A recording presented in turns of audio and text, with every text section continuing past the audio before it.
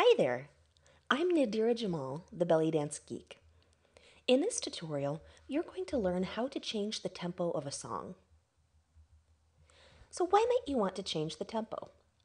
Sometimes you've got a great song, but the tempo isn't quite right for your performance.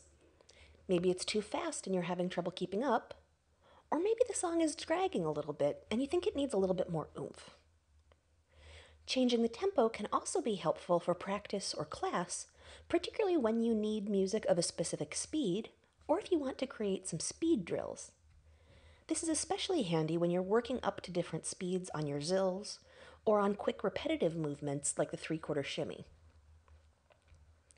So in this tutorial, you'll learn how to change the tempo of an entire song or how to change the tempo of just one section.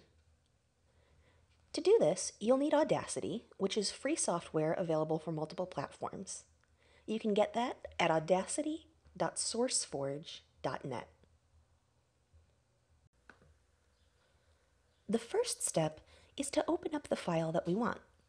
So I'm going to go into the File menu and choose Open. And I'm going to navigate to the music track that I want to change, then click Open. This opens it up in Audacity and shows us the music track as a waveform.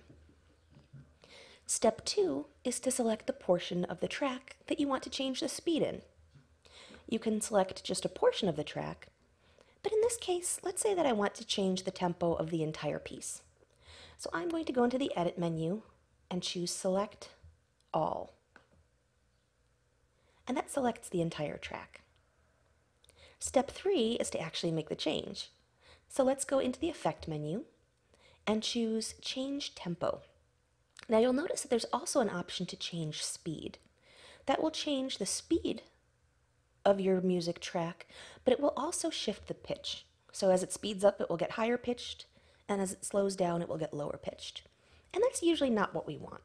So I'm going to choose Change Tempo, and you can confirm that by looking at the description. It says change tempo without changing pitch. And then here, you have a couple of options. You can change the speed by dragging the slider to affect a percentage change. So let's say I want to slow it down by 5%, and that changes this number to negative 5.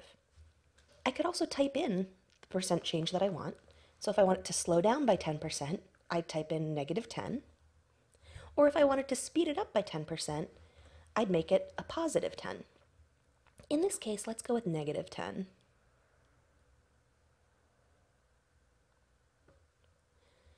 You can also change the beats per minute.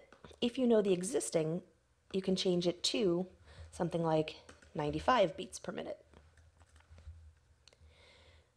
And as you adjust the percentage change, then that will change the length in seconds. So by slowing it down by 10%, I've increased it from 9.6 seconds to 10.67. If you try and click in here and you give it a specific length that you want it to become, it will automatically update the percentage change for you. So you can choose how you want to do that. Personally, I like to use this percentage change box to get exactly what I want. You can click on the preview button to hear what it sounds like with this change before you apply it.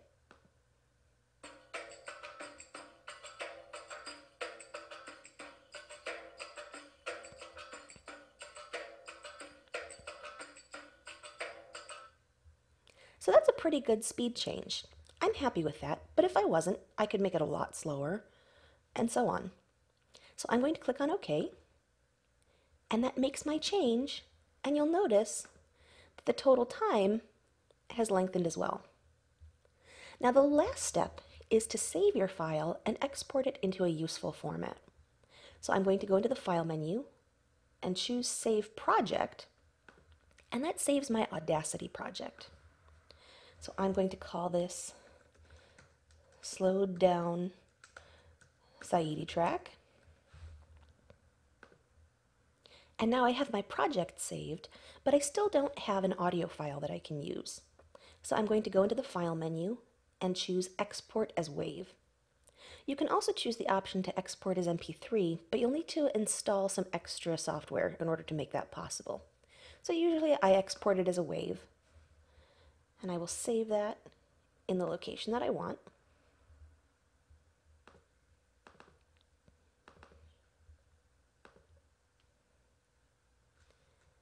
And now we have a separate file with our slowed down track. The music in this tutorial is by an artist named Drawn and was licensed through pond5.com. Thanks for joining me. For more geektacular resources, check out bellydancegeek.com.